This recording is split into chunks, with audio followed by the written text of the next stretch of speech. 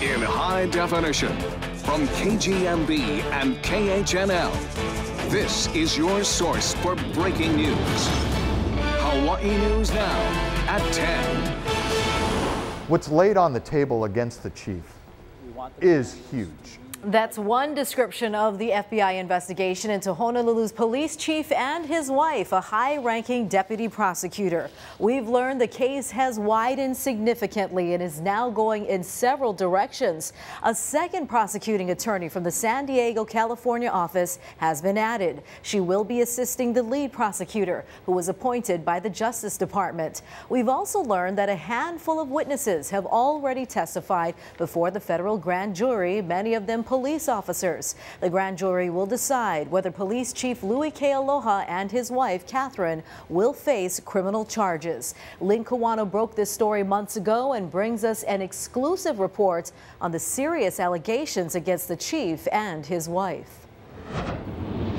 The most important thing to remember about this, this is not about the Kealoha stolen mailbox. This is a federal grand jury investigation into allegations of public corruption and civil rights violations. How a family dispute over money spiraled out of control and possibly turned criminal.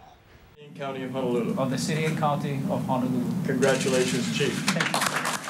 They're one of Hawaii's power couples. Politically connected, one controls the nation's 20th largest police force, the other, the head of the Honolulu Prosecutor's Career Criminal Division. But law enforcement sources tell me the FBI has called dozens of witnesses from all levels of the police department to testify against them. To understand how they got here, you have to go back to when Louis Kealoha was sworn in as chief in 2009, when Katherine Kealoha pinned the badge on his uniform. Katherine threw him a lavish, almost $24,000 inauguration party a few weeks later. That money came from a bank account she shared with her grandmother, 93 year old Florence Puana, who lived with her son, Gerald Puana, Katherine's uncle. But within months, $148,000 from that joint account was gone.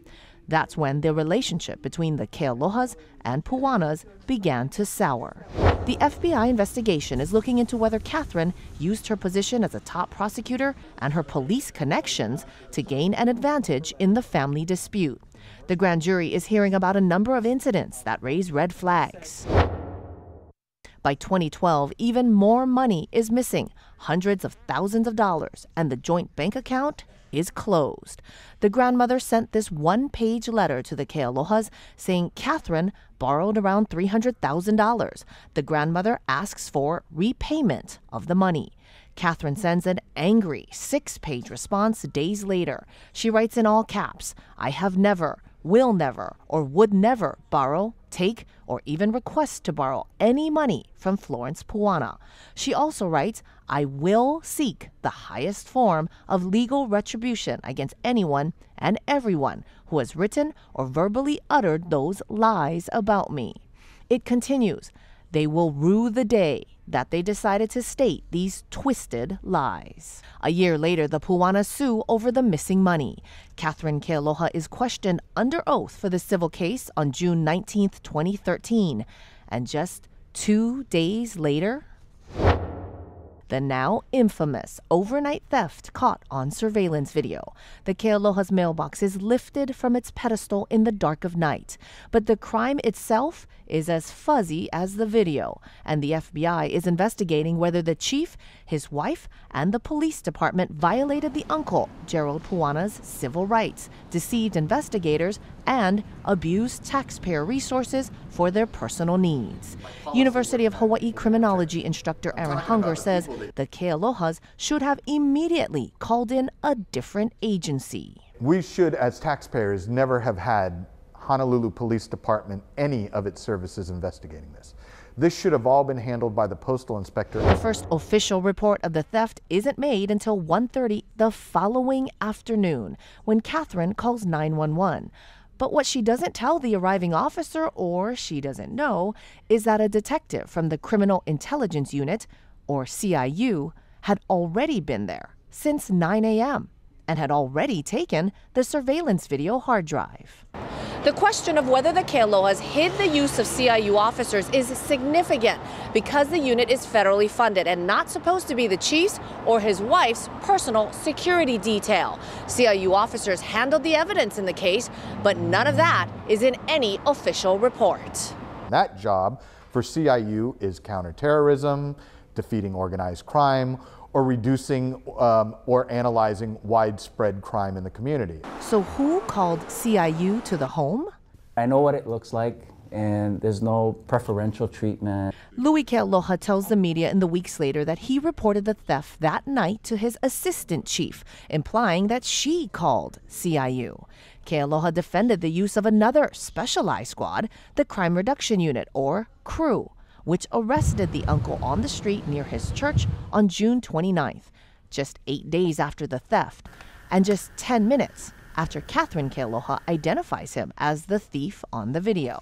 I never looked for uh, special privileges. I wasn't behind the investigation, directing you know the staff and, and, and the officer. Law enforcement experts say the use of both CIU and CREW is out of line with normal investigative procedures for a theft case.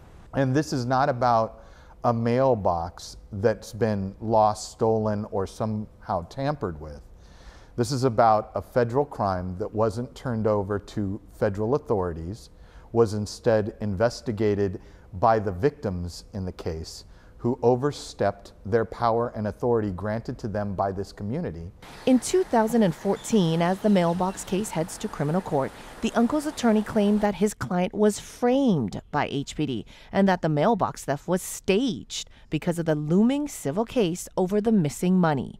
A key to his case, the mailbox itself, the one police say was stolen, is a deluxe model with a rounded roof, worth well over $400 but the mailbox that Google Earth shows was at the home at the time, and the one shown on the video appears to be a Gibraltar brand aluminum box, which rarely sells for more than $200, half the value. The defense would argue that this proves the value of the missing mailbox was trumped up, so the charge would go from a misdemeanor to a felony. But what they missed was that it was a federal crime. they didn't even need to escalate the price in order to make it a felony. It was a federal crime to begin with. Before any of this evidence was presented in court, Chief Kealoha caused a mistrial when he blurted out a prior arrest the uncle had.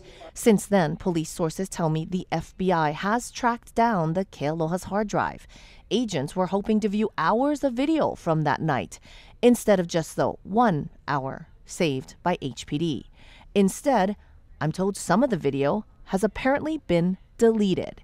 Sources tell me it's been sent to Quantico, Virginia, to the FBI lab to try to recover some of the images. The federal grand jury has been hearing the case for several months now, but it's far from over. More witnesses are still being called and more subpoenas could be issued soon. I'm Lynn Kawano, Hawaii News Now. Now, it is important to point out the Kealohas did win the civil trial against the Puanas. The federal grand jury could also decline to charge them. We did ask the chief and his wife for comment on this story. Both declined. Meanwhile, the police commission says Chief Kealoha's job performance exceeds expectations. That was a result of his annual job evaluation. It says Kealoha was successful in effectively managing the department and ensuring that public safety was maintained at all times. He has been chief for six years. Kauai police